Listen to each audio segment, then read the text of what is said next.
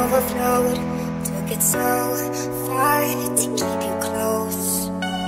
I was afraid to leave you on your own.